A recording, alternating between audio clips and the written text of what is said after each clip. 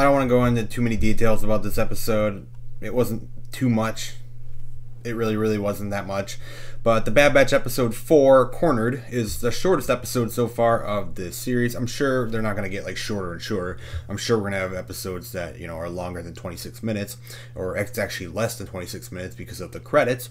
But the Bad Batch episode 4, Cornered, is literally just a Bad Batch and a supply run. So once again, they they land their ship on some planet and they have to repair their ship or whatever they were doing and get supplies. So not a not a whole lot lot on that story front. So like it's literally just them fixing up their ship, you know, dealing with problems on this planet. I don't even remember what it was called, but yeah, not a whole lot happens. But the episode starts off again. They they get to this planet. I don't remember what it was called. I only watched it once.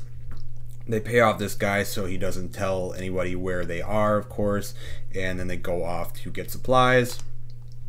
And while they're off to get supplies, the guy who they were talking to here. Of course, you always got these scummy people here in Star Wars who are always looking to get some money or some credits. And this guy calls Fennec Shand from The Mandalorian. So we knew she was going to be in the show, so she was literally the star of this episode. If she wasn't in this episode, this episode probably would have been terrible like honestly terrible now i'm not saying the bad batch in general is a bad show all shows have their duds but this one without her, it really, really would have been pretty bland. It really would have been bland. But she was in this episode, and it was really cool to see uh, the voice actress, the the you know the character voiced by the actress in The Mandalorian. Uh, really cool to see her come back, and yeah, I really like the character. She's really really cool.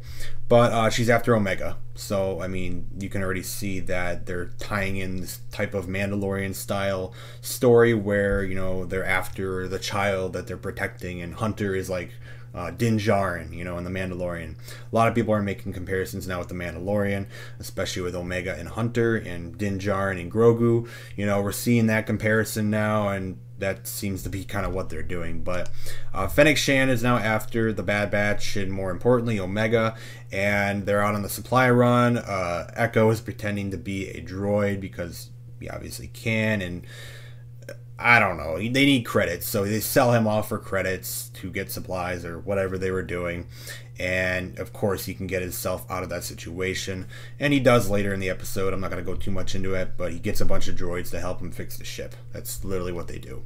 But on the other side of the story here, you got Fennec Shand coming into the story here. Uh, Omega runs off, like like literally they they did the the child running off in the storyline where they run off and run into trouble or danger, and that's literally what they did. Omega runs into Fennec Shand, and Fennec Shand is literally after Omega, so of course you know where this story is going to end up going. She plays it off as she's like a nice person, you know, helping out at first, and then once Hunter finds Omega, they get into a blaster fight, and you can presume where this ends up going. Uh, you know, it's a heated interaction here, and she puts her helmet on as her iconic helmet from The Mandalorian. So, really cool. I really like Fennec Shand. Fennec Shand is a really cool character. Uh, some of the stuff that she does in this episode, though, are a little weird. You know, I, I don't like how they did some of her, not necessarily her character, but like the Bad Batch in this episode. Uh, I don't know. I don't necessarily like it, but Fennec Shand in this episode is really cool. Really, really cool. But of course, you know, it goes wrong and they got to chase down Fennec Shand, who has Omega captive. And essentially, this whole chase leads up to some antenna tower or whatever.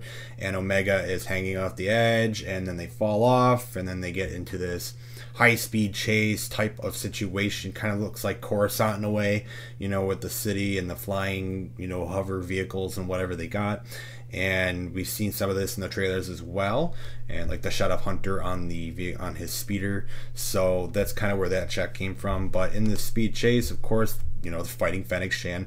I got a lot of shots of fennec shand here. Coolest part of the episode in my opinion.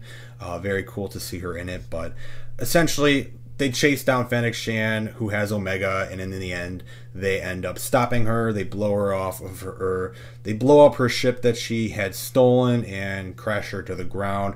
She's injured, and they save Omega. So that's this shot right here. Her ship blew up. They got away from her, and it seems like she's going to kind of be this side antagonist in this series now going forward, uh, along with Crosshair and the Empire. So the Crosshair and the Empire are like the bigger threat that's looming, and then you have this side, you know, story here of Fennec Shand and someone who has hired her to go after Omega. Now, I would assume, one would assume maybe it's like the Kaminoans going after Omega because she's quite important to Kamino. And that could be, but I don't, you know, it, it, they really hint at the end of the episode that she's really uh, working with somebody to find Omega, and I don't necessarily know who. A lot of people are thinking maybe she's already interacting and maybe speaking with Boba Fett. I don't know what Boba Fett would have to do with this. I know he's not that old yet. I know he's still kind of probably like a young adult right now. So it'd be really cool to see Boba Fett and her interact in this show. I think it'd be really cool. But uh, at the end, essentially, she pays off the one guy that screwed them over in the beginning. And he didn't necessarily help her completely, but she still paid him off.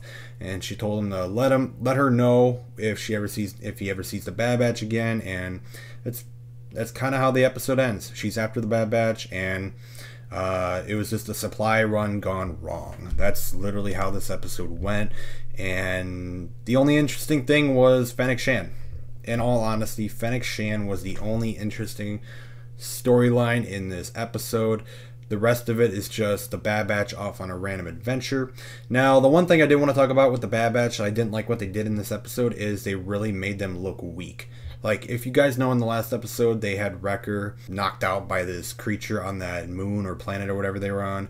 And in this one, Fennec Shand literally knocks out Wrecker and Hunter in the span of this chase that they're on. Wrecker goes out and tries to help and tries to stop Fennec, and in like one blow against like the side of a wall, uh, Wrecker is like knocked out for a second, you know, from Fennec Shand. And I know Fennec Shand is a highly skilled fighter in Star Wars. We see that in The Mandalorian, and uh, I'm not against that. I'm really not against that. I'm more against how like it's this is literally Wrecker. You put Wrecker against her, and Wrecker is like the super strong mutated clone and you're going to have him get knocked out in one hit.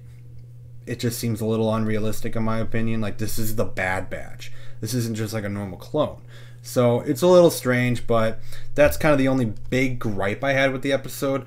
Other than that, it was pretty boring storyline wise, besides Fennec. And I'm, very excited to see more of Fennec Shand. She was really cool in this episode. Uh, I, I'm really starting to like this character. I really, really am. Uh, I always like to see these bounty hunter characters, and I really love the crossover between the Mandalorian and her coming into the Bad Batch. So I'm interested to see some of her storyline from the past and see where it goes. But the Bad Batch episode four.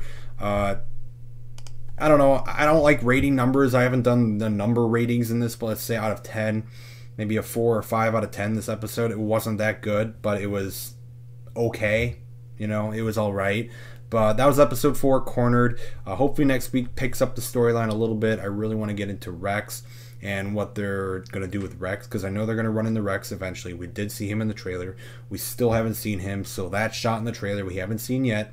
Hopefully, we'll see Rex soon, but right now, this is where we're at. I, I think there's rumored like 14 or 16 episodes, so we'll get there eventually. I'm sure it'll pick up, but right now, these have been really some really slow episodes since the premiere episode, which was fantastic, and I really like the last one, last one as well.